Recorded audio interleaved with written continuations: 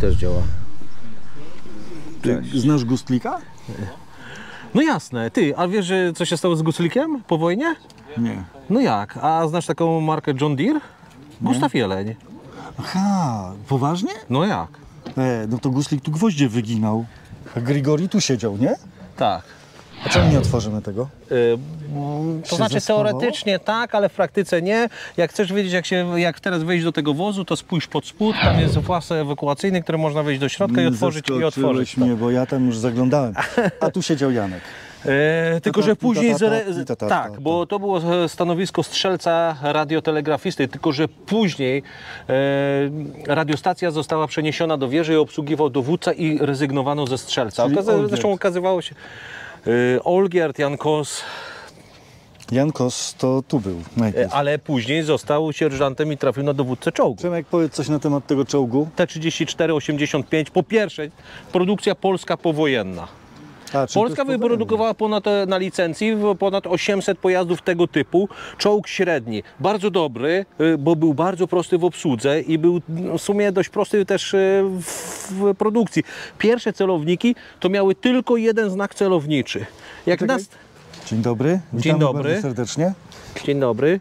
I jak go naprowadziłeś na cel i strzeliłeś, To trafiłeś. To, to dobrze jak trafiłeś, bo jak nie, to może się okazać, że już nie masz szans na następny strzał, bo niemieckie były bardziej, Celne. bym powiedział, celne, ale też miały skuteczniejsze armaty. Zawsze mnie to fascynowało. To jest dodatkowe paliwo, tak? Zbiornik to nie są zbiorniki paliwa. Dodatkowe, ale e, tylko, że czy T34 miał armaturę do podłączenia, to nie jestem pewien. Ja, ja trochę e, za, za młody jestem, żeby pamiętać e, T34, aczkolwiek miałem okazję, uważaj na głowę, bo nie masz kasku,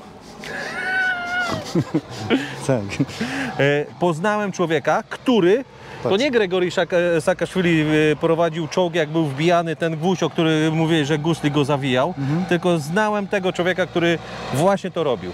Bo w dawno, dawno temu, nie, nie, bo dawno, dawno temu ten człowiek jeszcze, ja go pamiętam, jak był pracownikiem cywilnym na WSO i miałem Stefana Czarnieckiego w Poznaniu. Wiesz, I wiem, jak to zrobili, y, jak zostało zrobione, że Guslik sobie owinął ten gwóźdź dookoła palca. A wiesz, że dzisiaj będzie hejt jakich mało, bo jesteśmy w miejscu komercyjnym. Ale słuchaj, y, ale dlaczego? To, to, to, słuchaj, to, że tutaj akurat y, muzeum nam sprzyja, to dla nas akurat na plus, bo możemy pokazać miejsca, których bez zgody dyrektora muzeum byśmy nie mogli pokazać. A pozwala i nie ma żadnego problemu. I pracownicy są Znaczy, uśmiechnięci. Dla, to też nie tak, e, wiesz, e, nie No, mów, że to tak, e, no dobra. nie, może, żeby Dobra, nie chcemy, żeby przebrzmiało, że to jest takie proste, bo to wszystko jakoś Zaraz tam mniej lub bardziej wszystko. oficjalnie Dobra. trzeba zrobić, Słuchaj, prawda? bo tak, y, chcieliśmy pokazać jeszcze ten budynek, który tak naprawdę Też był zhejtowany. był zhejtowany. Tak dlaczego ten budynek jest taki, a nie inny? Wiesz co, no Sprawa bo... jest prosta, prawda? A, a czekaj, bo może wiesz ty coś, czego ja nie wiem. Nie, on po prostu pasuje do całego zestawu bunkrów. Dobra, to wiemy No, coś podobnego. Bo tu było powiedziane, O. że tam jest podobny jak do jakiegoś tam mu- muzeum niczego. na wału, e, wale atlantyckim, że za bardzo coś tam wygląda. Ale Także... jak bunkry wyglądały? No wyglądały właśnie w ten sposób, obłe boki. Ale on wygląda, zwróć uwagę, że on bardzo podobnie wygląda jak ten y, schron bierny nad y, tamą w Ołoboku. Ale ty mnie nie musisz zupełnie przekonywać, bo do mnie dotarła ta opcja i ta wersja Aha. i ta wizja. I tak w ogóle jesteśmy w Pniewie na samym początku e, trasy turystycznej i tutaj macie zęby smoka i tam, i tam, i tam. Tam jest Ale czekaj, najpopularniejszy obiekt. przecież pierwszy nasz odcinek, Tomek, był właśnie tutaj. Do tego tak sobie- przypominam. No, tego było Podróż 93 odcinki, 4, coś koło tego. Dwa. Trzy bym powiedział chyba. Te trz- Dwa, dobra, okej, dwa. 92 Dobra, okej. Ale Albo drodzy trzeci. moi, drugi. Wiesz co, powiem Ci, lepiej nie mówmy który, bo się okaże, że Dobra. wyjdzie nam inny. My teraz idziemy w bardzo fajne miejsce, a mianowicie chcieliśmy Wam pokazać wystawę. Ktoś mógłby powiedzieć, ale po co nam... Dzień dobry. Dzień dobry. Tu kupujecie bilet w razie W. Tu jest sala, którą, do której warto zajść. Dlaczego myśmy się tak troszkę uparli dzisiaj, żeby Wam to pokazać? To naprawdę fajne miejsce. A dlatego, że ta wystawa się kończy niedługo. Będzie inna. Będzie się Kiedy? Kiedy A pamiętasz nie kiedy? wiem, no właśnie jakoś to na, na niedługo miałoby nastąpić. No to, to my Wam dzisiaj pokażemy, jak wygląda ta stara wystawa, bo jest mega fajnie zrobiona. A jak będzie nowa, to No też nie wiem, zawsze też znajdą, znajdą się tacy, co mówią, że nie do końca. Co nie do końca. Że, że nie do końca mega i nie do końca fajnie i tak. To- Ale zawsze tylu, co sprzedajcy. Wiem, co mieliśmy zrobić. Pozdrowić kogoś. Artur i ekipo, pozdrawiamy Was bardzo serdecznie. Tu kabelek wylazł. Pozdrawiamy Was bardzo serdecznie. Miło było Was spotkać w terenie. to było I fajne. tego kolegę też jeszcze. Tak, tak, tego wspinacza. Dobra, Przemek, zajmijmy się wystawą. Tu są rzeczy związane z Międzyrzeckim rejonem umocnionym. Znalezione na obiektach, koło obiektów, związane z obiektami. Yy, I tu jest powiem Są tak. tu repliki czy ci po- oryginały? orgi- większość to są oryginały. Ale wiesz problem polega na tym, że to nie jest duża powierzchnia wystawowa. I zostało pokazanych wiele elementów, no ja bym nie użył słowa upchane, ale wiele elementów, y, które po prostu są związane z tymi fortyfikacjami, zostało uznane jako najciekawsze. I zwróć uwagę tutaj w tle jeszcze te, te zdjęcia. Dobra, od czego chcesz zacząć? To co? No tu stanęliśmy, to już Aha, zacznijmy dobra. od agrega, od pompy. To jest Bo pompa. To jest pompa. A, to jest to miejsce, to jest y, końcówka tutaj jednego z tuneli na trasie. Co prawda za większością grup tam się nie dochodzi, ale zobacz, tutaj są widać kształtowniki stalowe. Jakby ktoś się zastanawiał, jak były wykonywane te tunele. Kształtowniki stalowe na śrubach rzymskich, które utrzymywały y, deski szalunku, które też są widoczne. To jest ta część tutaj, ta, ta ciemniejsza. Czyli takich pomp używało się przede wszystkim w momencie, kiedy y, były kolejne tunele budowane. Y, mogło Przede tak być. wszystkim Tu byliśmy, poszli jak już to od tej strony. Ale Ja poczekaj, bo jeszcze chciałbym to zobaczyć. Aha, Bo to rany, jest nie mam pojęcia co to jest. Też chyba Też jakaś pompa pompa. jakaś. Tak. Tylko jakaś taka za- zabudowana. waser, woda. Zobacz, tutaj... I jeszcze z lampą.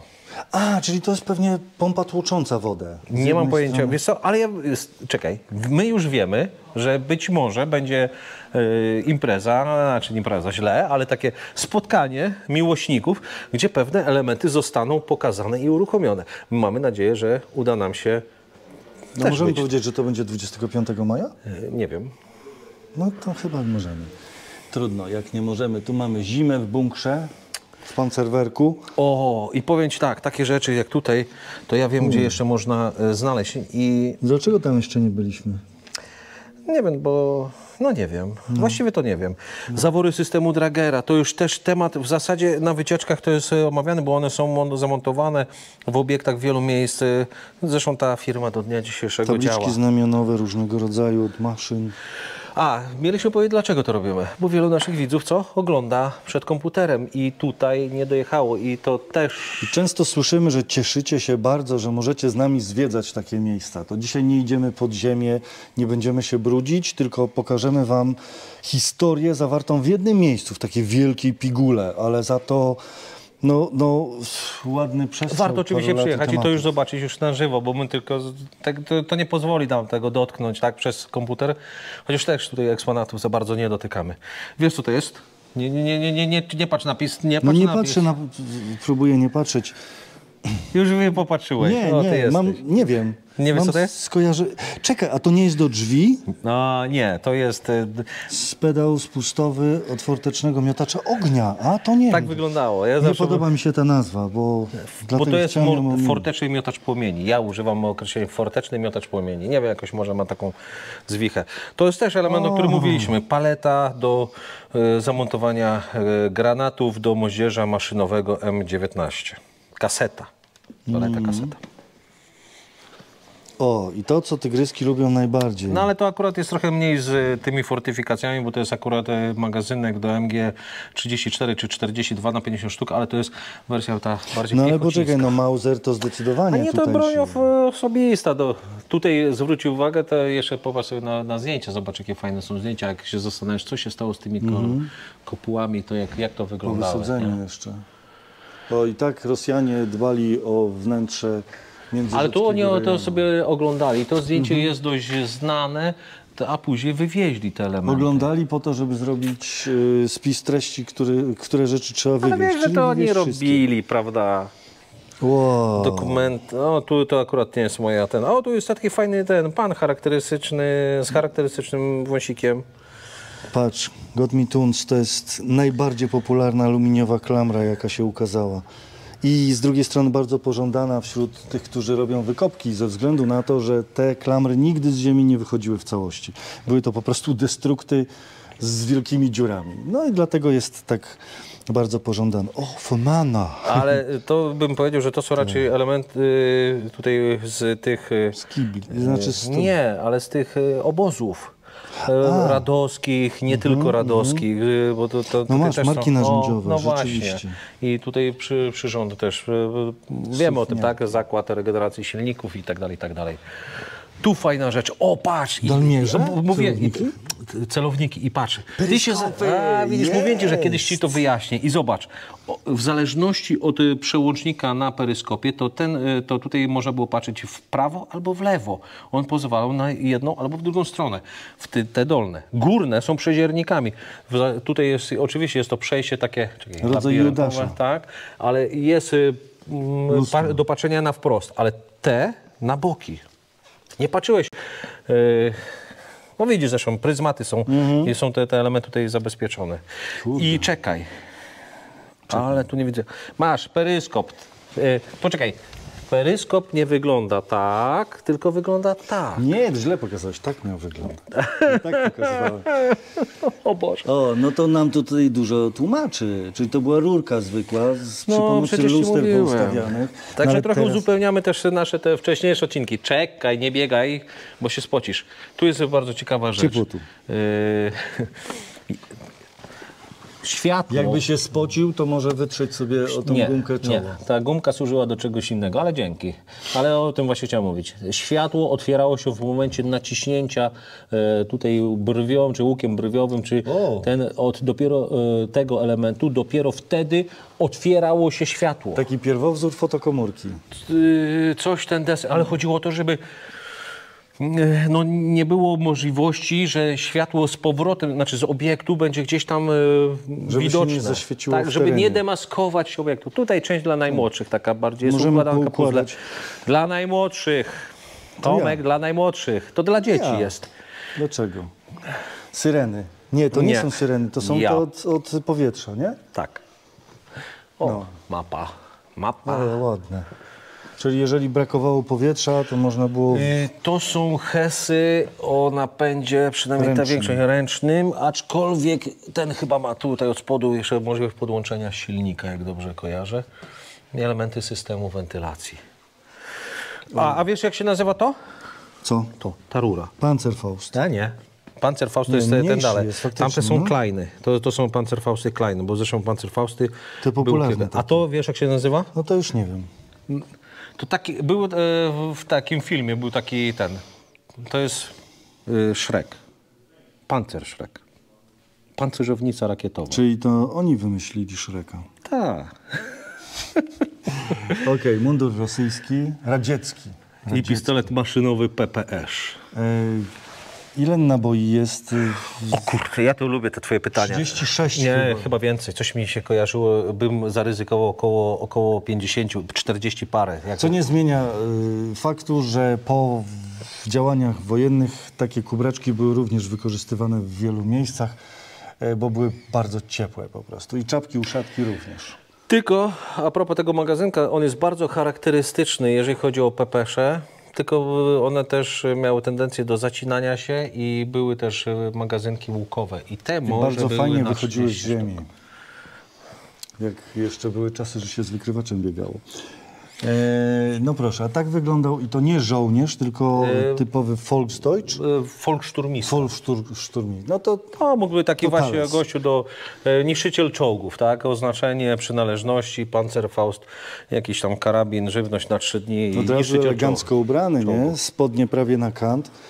E. Ale oni mieli najczęściej ubrania cywilne i wyróżniała ich opaska na ramieniu. E, Chociaż tu pewnie, ja akurat nie jestem już takim wielkim specjalistą, aczkolwiek to ty, Czyli pewnie tak ktoś, wygląda ktoś cały powie. potykacz? Jest taki długi? Ale czekaj, bo Czy on jest... Już też o tym mówiliśmy. One były w e, różnej wysokości. Okej. Im dalej od obiektu, to były te wyższe, a im bliżej do obiektu niższe. To już było tak, żeby jak jest daleko od obiektu, żeby nie mógł e, podbiec, musi się pochylić, żeby przejść. A bliżej do obiektu, to żeby e, Ja musi rozumiem, wstać, bo nie może się czołgać. Przemek, chciałem o co innego zapytać. Czy tak wygląda podstawa? To jest wkopane w ziemię. Zgadza się. Czyli żeby go wykopać, to trzeba to wykopać wszystko. Tak. Że też. Chyba, że ktoś wyrwie. A, czyli połamie, destrukci go. O, Drut kolczasty. Twoje, twój ulubiony drut? drut 120 zwojów na metr kolczasty. Nie, 120 kolcy. do kolców, w sensie zwojów drutu. No. No i ty już okej. czepiasz słówek. O, i są panowie. Ale najpierw to walonki. Zimowe O. buty wartownicze, ale one ciężkie musiały Ty, być. ale popatrz, popatrz, popatrz. Dzisiaj e, też Posiłek. rozmawialiśmy odnośnie, odnośnie jedzenia, tego co, co jedli, to, to proszę bardzo, jest To informacja. nie czytaj tego. Nie, to już To zostawiamy. zostawmy tym, którzy... Okej. I są żołnierze niemieccy, którzy stacjonowali w obiektach tutejszych. O, podobną lornetkę mam w domu, ale powojenną. No. Ale bardzo podobną. A to był kucharz, jak rozumiem, ten w białym. O, no to tak wiesz, y, no, oni też mieli kucharzy, mieli kuchnię. Zresztą y, to też już było mówione, tak? Tam były piece, te elektryczne patelnie z płaszczami glicerynowymi. No to no, warunki mieli bardzo dobre, jeżeli chodzi o, o funkcjonowanie i to już nieraz o tym mówiliśmy. Przemek, ja tu właśnie zatrzymałem się specjalnie, bo widzę, że są y, te, do Mausera y, naboje. Łódki. To, te Łódki łódki, właśnie, najfajniejsze jest to, że ta, w taki sposób się ładowało bezpośrednio do, y, do, do, do pistoletu, do karabinu. No, jest jakby jedna z opcji. Jest. Rower, o Chłodni, znaczy pojemnik na chłodziwo do karabinu maszynowego, do takiego jak tam za chwilę replikę zobaczymy. Mhm. Puszki na maski. Rower. Rower jest świetną rzeczą.